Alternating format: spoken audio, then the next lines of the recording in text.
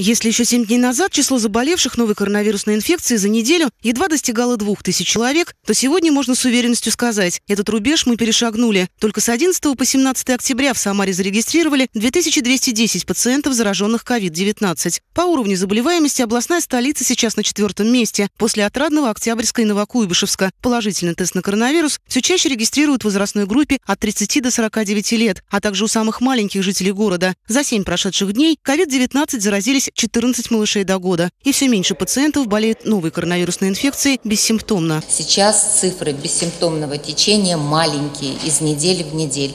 И эта ситуация, она характерна не только для города Самары, она характерна в целом на территории Российской Федерации. Ограничительные меры уже доказали свою эффективность при переводе школьников с 6 по 10 классы в формат дистанционного обучения. С разделением потоков в этой возрастной группе сейчас регистрируют наименьший прирост заболевших. Меры вынуждены, утверждает в Департаменте образования, но при нестабильной педобстановке единственно верное. Напомню, мы приняли решение на последнем штабе неделю назад продлить дистанционное обучение до 7 ноября. Последняя неделя каникулярная заканчивается, и, соответственно, будем принимать в период там, 1-3 ноября решение о продлении дистанционного обучения. На особом контроле пациенты с положительным тестом на ковид, которые находятся на амбулаторном лечении. В течение 14 дней после заражения они должны соблюдать режим самоизоляции, выполнять рекомендации лечащего врача и находиться дома, а также отвечать на телефонные звонки из поликлиники и пускать к себе домой. Если такая необходимость возникнет, мобильные бригады медиков. Сейчас максимально жесткий контроль за амбулаторными больными. Ежедневно нам предоставляете информацию, сколько людей проверили по факту, сколько людей были на местах, кого не было, какие какие меры приняты.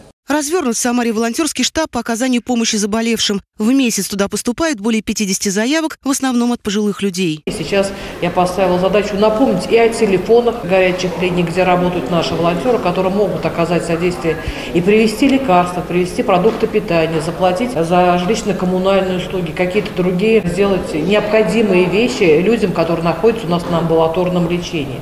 Настоящее время рассматривается вопрос организации работы волонтеров по оказанию помощи в получении QR-кодов. Напомним, теперь они необходимы людям старше 65 лет для разблокировки транспортных карт. Соблюдение всех требований регионального Роспотребнадзора и выполнение постановления губернатора необходимо для того, чтобы снизить число зараженных и выйти по уровню заболеваемости на долгожданное плато. На всех видах транспорта продолжатся проверки на соблюдение масочного режима, а руководителям предприятий нужно предоставить данные о своевременной вакцинации своих сотрудников. Напомним, до 1 ноября этого года необходимо быть привитым хотя бы одним компонентом препарата, либо предъявить медотвод. Сотрудников без соответствующих документов будут отстранять от работы без сохранения заработной платы. Ольга Павлова, Константин Головин. События.